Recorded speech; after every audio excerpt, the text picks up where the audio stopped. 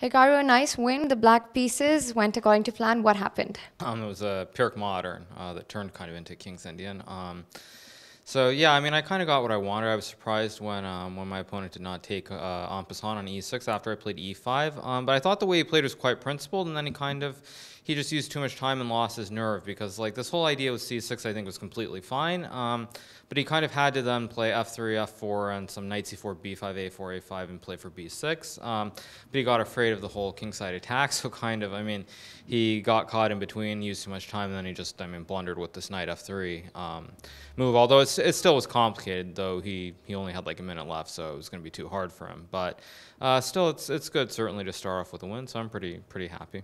When he went c4, c5, it looked like it was going well for white. Where exactly did he go wrong? I mean, it was basically at the end when he played bishop c4 and knight f3. Um, he should have played f3, f4, and then like um, some some combination of b5, knight c4, a4, a5, b6. Um, again, it's not really clear uh, who's quicker because I'm going to go like g5, g4, g3 maybe, or gf3 depending. So it's not 100% clear, but I think kind of once once he went for this and he didn't uh, play d takes e6 en passant, I mean, he kind of was forced uh, to go for this. So he, he really just needed to keep his nerve and, and uh, play play his continuation. And when he didn't, I mean, it just it went wrong uh, immediately.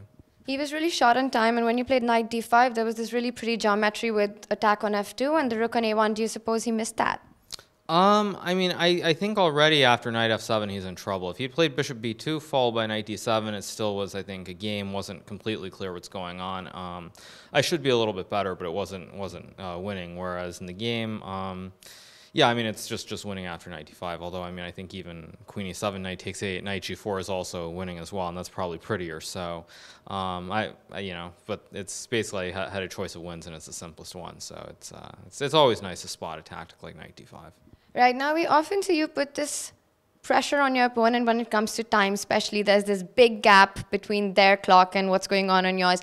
Is that is that part of your strategy to kind of try to play fast and uh, for you the time is as important as the position on the board um, yeah, I think when you're playing uh, weaker player, significantly weaker, I should say, um, time comes into play much more because, like, especially if you're black, you're it's not easy to get an advantage. I mean, it's like you look at what I did or what Levon's doing. It's kind of you, you, you try to just play something random, get a position, make them use their time or blunder any way you can. So um, certainly it plays a big role when you're playing someone who's like three, four hundred points lower. And um, I mean, you should you should try and press them on the clock. It's one of the advantages advantages that stronger players have. They're they're quicker, they think think quicker, and it's more intuitive. So um, I mean, obviously it's it's always there if I need it. Right. Finally, last question. Uh, you had a look on Levon's board. How are things going for him? What do you think happened there?